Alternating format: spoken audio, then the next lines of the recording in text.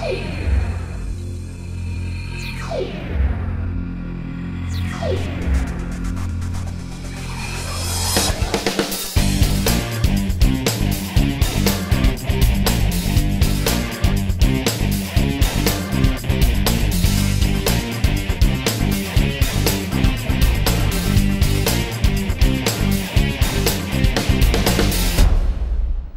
Beppe Convertini per la seconda volta ospite ai nostri grandi eventi live. Ci eravamo conosciuti in crociera, poi hai saltato la puntata di Kranisca, ti sei ripresentato invece qua a Budapest, altra città meravigliosa.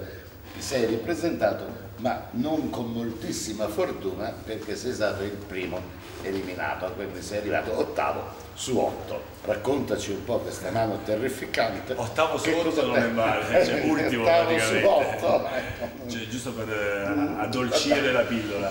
E in sostanza beh, avevo competitor che era è stata fortunata, che non è solo bella, ha un lato A eh, che è molto bello, ma il lato B funziona ancora di più ed è molto bello pure quello, e quindi insomma la Silvia, la, la Miss Ungheria del 2008, mi ha fatto fuori con un colore all'ultima carta. E Io dopo- avevo un eh, tris di lì, pronto eh, pronto. sì, ecco, tu con un, tri, un tris contro una coppia, cioè avevi la matematica dalla tua, Io già ma stavo il lato B contro, quindi questo là ha vinto il lato B Ma sì, rispetto alla ma sì. matematica. Questo è un gioco, un Certo. gioco come tale poi Certo. eh, va bene così. Però la fortuna fa la sua parte. Certo, però possiamo aggiungere che un paio di anni dopo la stessa, con la stessa combinazione, cioè con un altro colore al river, Ha fatto fuori la Carolina. La Carolina, ha eliminato anche la Carolina. Quindi è una donna, Eh. una donna che ha un lato B notevole. Notevole, in tutti i sensi. Beppe, noi ti abbiamo strappato a Taormina.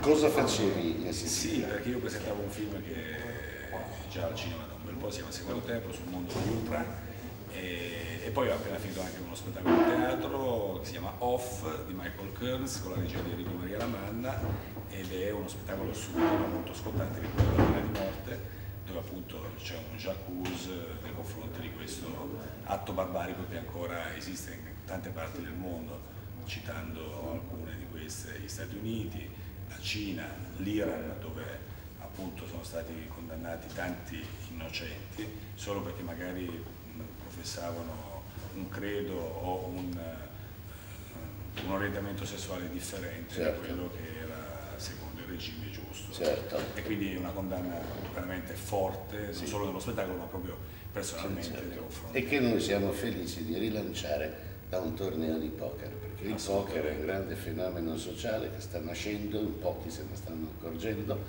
e invece sta diventando qualcosa di importante ed è giusto che da un fenomeno sociale importante partano messaggi sociali importanti. Beppe, a questo proposito, tu sei stato l'ex uomo più bello d'Italia. 1920.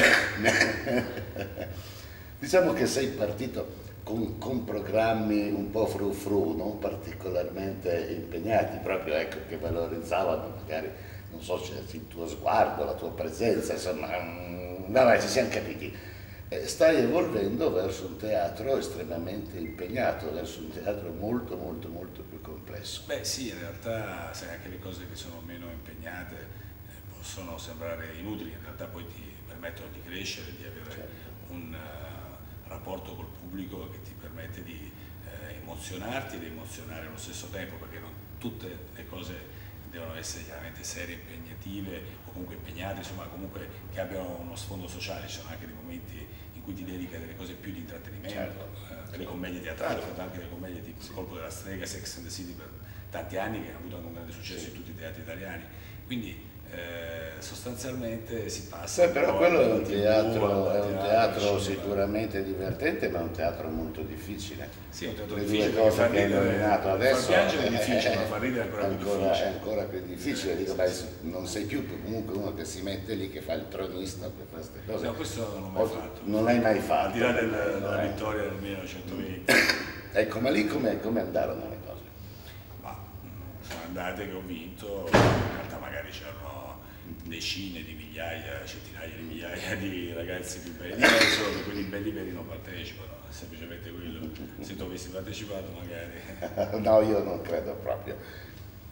Benissimo, il tuo sogno nel cassetto, oltre a migliorare il tuo stile di gioco, Beh, come diciamo attore, il mio sogno nel cassetto è interpretare un ruolo in costume, perché mi hanno sempre affascinato Ah. un personaggio di un'altra epoca, un personaggio che non vivrei mai altrimenti, ecco, perché non, non chiaramente con dei modi di fare, di vivere, di intendere, eh, di vestirsi, di, di muoversi, tante cose che sono completamente diverse dal mio modo di essere.